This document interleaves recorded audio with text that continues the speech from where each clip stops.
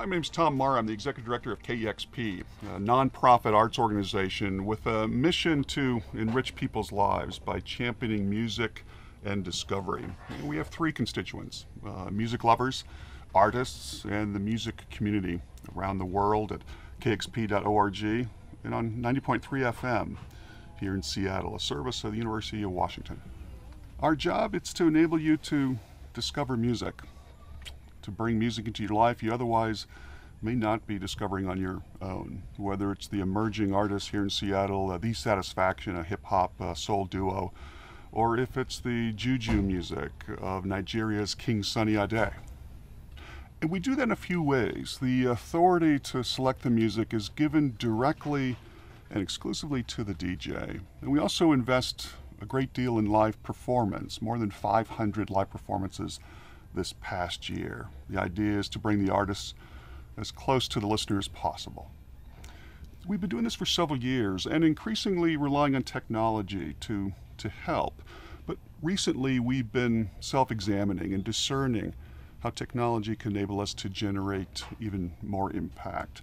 We've realized that we can only serve so many people here locally at 90.3 FM, so we've been turning more of our attention to the online realm where we could serve millions of people around the world.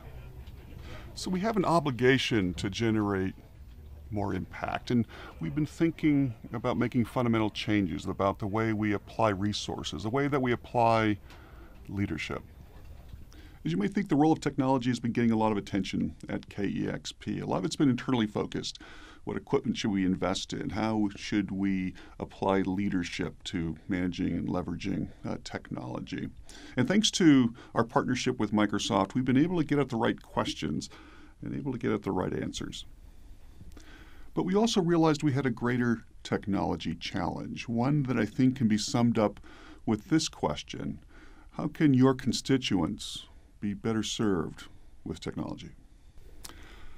And I think it's a question every executive director needs to answer. And I think it's a question that requires a lot of discernment and understanding throughout the organization, not just the folks who spend most of their day managing technology. And I think the answer should be shrouded in a philosophy, a philosophy every staffer, manager, and executive applies and champions as a matter of leadership and as a matter of delivering on our missions. What if every nonprofit had a fully developed technology philosophy before deploying an annual plan? Can you imagine? I wish you the best of luck as you work so hard to help lives.